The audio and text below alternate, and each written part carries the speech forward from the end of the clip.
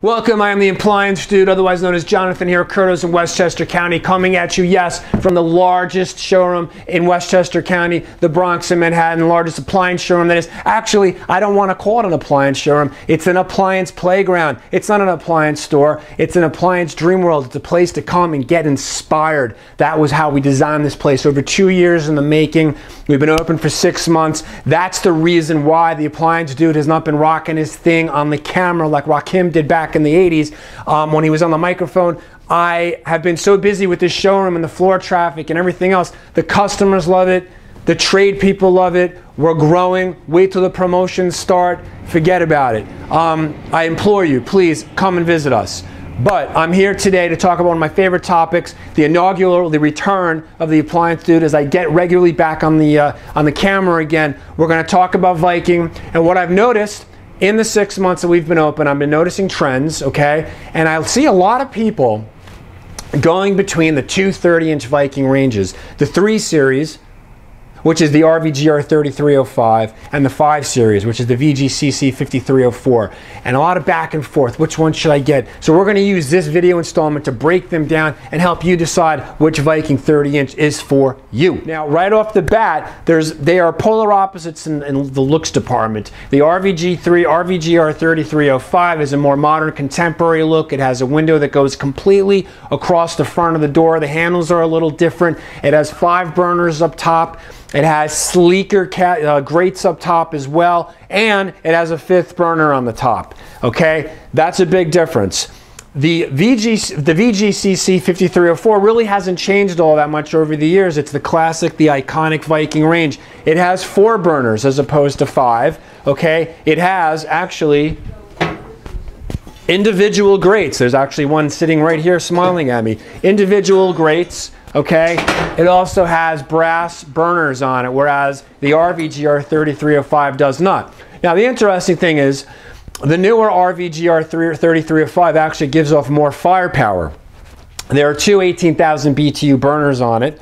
Okay, you know it has five burners again as, as opposed to four over here. That one has um, two 18,000 BTU burners, whereas the classic Viking 30 inch only has that, only, it has one 18,500 BTU burner on the front right, okay? So the big difference right off the bat you're gonna see is one has five burners, one has four burners.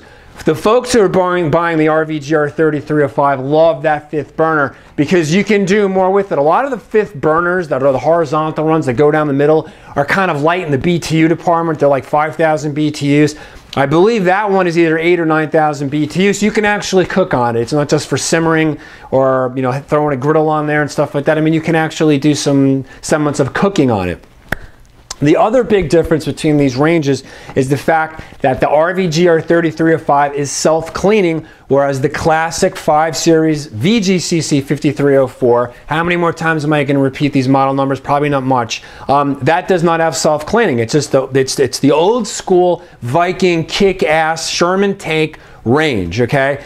And um, you know, to me, self-cleaning has become a little overrated nowadays. I don't have as many people asking about it, but again, if self-cleaning is your thing, then definitely the RVGR 3305 is where you have to go. Another big difference, on the classic 5 Series 30-inch, it has two sliding racks. Three racks in total, top and bottom are sliding, telescopic, whatever you want to call it. People love that. They only put one in the RVGR 3305, and you cannot buy to the best of my knowledge, you can't buy an additional telescopic rack. So they're making that, you know, that's kind of like a, if the racks are important, you got to go graduate and go do the, um, the 5 series.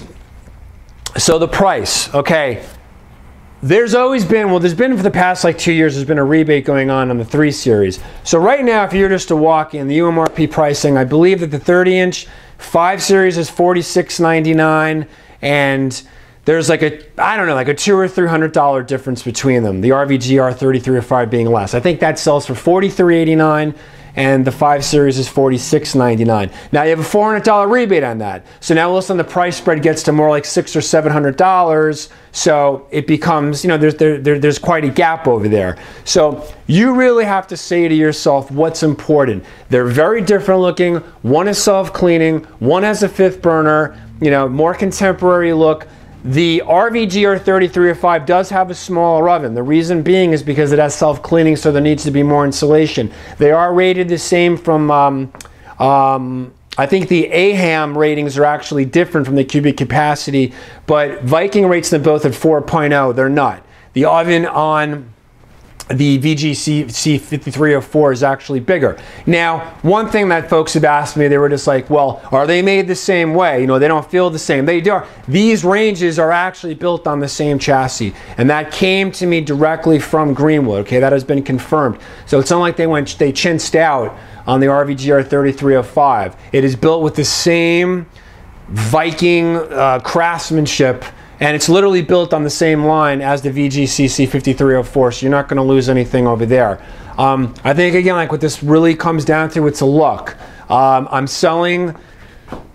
I'm selling more of the RVGRs right now, a little bit because of the price, but also people are digging that fifth burner on top and the self-cleaning plays into it a little bit. But there's always going to be a market for the VGCC 5304. It's so classic. It's so beautiful. Um, you know, I have folks that come in here that haven't done their kitchens in, I don't know, 10, 12 years, and they'll waltz over to the Viking section. Like, I have that range, or I had that range when I lived in Manhattan, and you know what? We never had a problem.